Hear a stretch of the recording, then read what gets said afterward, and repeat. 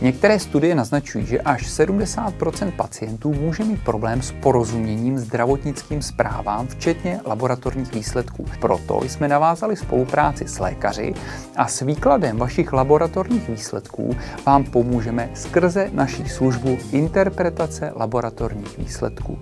Je tato služba pro vás vhodná, nebo by ji ocenili vaši blízcí? Máme ji pro vás připravenou. Lékárna CZ, abyste se cítili dobře.